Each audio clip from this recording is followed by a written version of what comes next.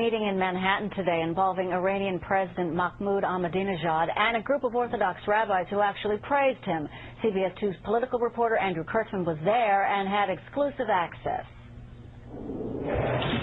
It was a meeting out of the Twilight Zone. An Iranian president who wants Israel wiped off the map, and a dozen rabbis who couldn't agree more. CBS 2 gained exclusive access to the event held at the Intercontinental Hotel in Midtown. There, President Mahmoud Ahmadinejad railed against Zionists, meaning the Israelis. They have no respect for the lives and the dignity and the properties of Jews.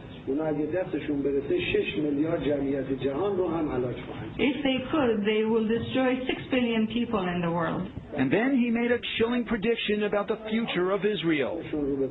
But their time is ending. And these rabbis who believe Israel's founding violated God's will couldn't have been happier. God should give you long life and health and strength and not to be intimidated by the attacks of Zionism that is attacking you as being anti-Semitic, which is a pure ploy of Zionism to intimidate people that they shouldn't speak up against their, their illegitimate state. The president once again questioned the existence of the Holocaust, and the rabbis, some of whom lost relatives in the war, suggested it was all a Zionist conspiracy.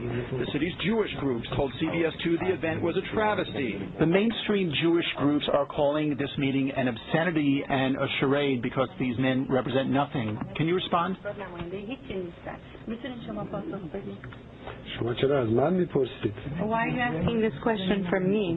شما نماینده یهودی ها هستید You represent Jews? I represent WCBS TV. But he never answered the question. The rabbis represent a group called Jews Against Zionism. Many of them hail from the Orthodox communities of Brooklyn. The Iranian president was so pleased with their comments today that he invited them to come visit him in Tehran.